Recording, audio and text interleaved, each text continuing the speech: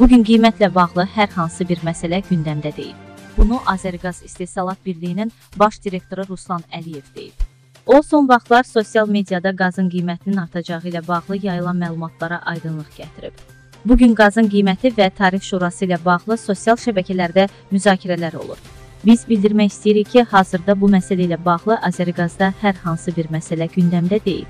Əslində bu istiqamətdə hansısa suala cavab vermək çətindir. Çünki biz qazın ölkə üzrə paylanması funksiyasını həyata keçiririk.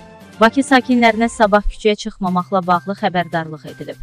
Bakı şəhər icra hakimiyyətindən verilən məlumata görə sabah aprel ayının 10-u səhər saatlarından etibarən paytaxt üzrə iməclik və şəhərin mərkəzi və qəsəbələrdəki əsas küçə, prospekt və yollarda xüsusi kimyəvi maddələrlə növbəti gücləndirilmiş dezinfeksiya işləri aparılacaq. Bununla əlaqədar maddələrin qəbul olunmuş müəyyən toksikliyini nəzərə alaraq sakinlərdən ciddi zərurət yaranmadığı təqdirdə qeyd olunan tarixdə küçəyə çıxmamaq xahiş olunur.